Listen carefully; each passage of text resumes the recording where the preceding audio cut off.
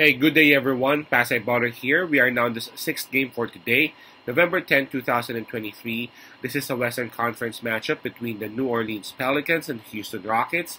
That will happen at 8 o'clock p.m. Eastern Time, so that's going to be 9 o'clock a.m. here in Manila. I'm just inviting everyone who have not subscribed yet to our YouTube account or YouTube channel, Pasay Baller. Please click on the subscribe button below. At the same time, hit on that bell logo that way, automatically, you guys will be receiving notifications whenever new videos are uploaded.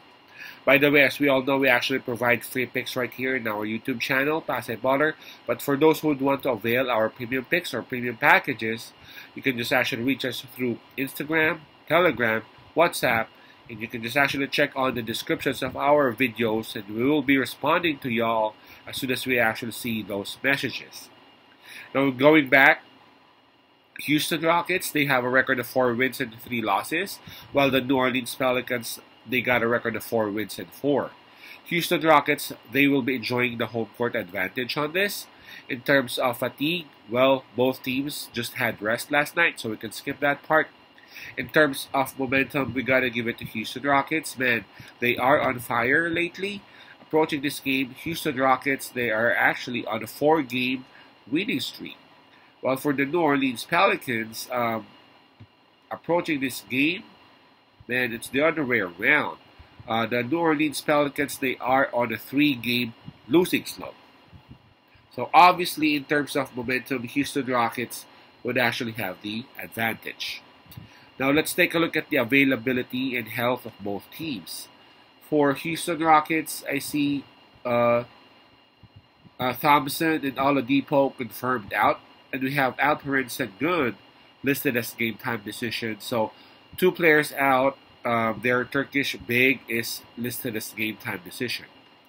For New Orleans Pelicans, wow, I see a lot of names down here. Let's start with those who are confirmed out. Jose Alvarado, CJ McCollum, Trey Murphy. So three players are confirmed out. While we got Herbert Jones, Marshall, and Zion Williamson all listed as game time decisions. So three players confirmed out, three players um, listed as game time decision. That's for New Orleans Pelicans, giving the advantage in terms of uh, availability and health towards Houston Rockets. Right, just like what I said before, Houston Rockets, they do have a very good coach in Ime Udoka. Approaching this game, they are on a roll.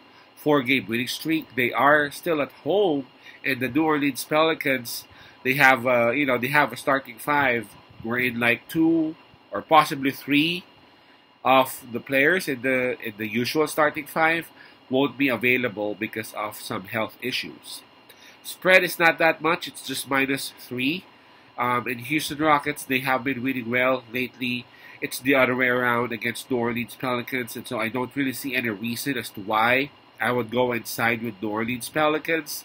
I would go ahead and pick Houston Rockets.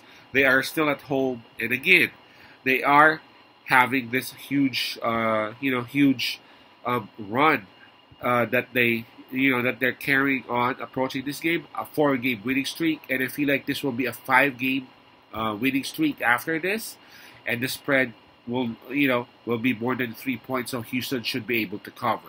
So my pick would be Houston Rockets minus three. Again, that's Rockets minus three.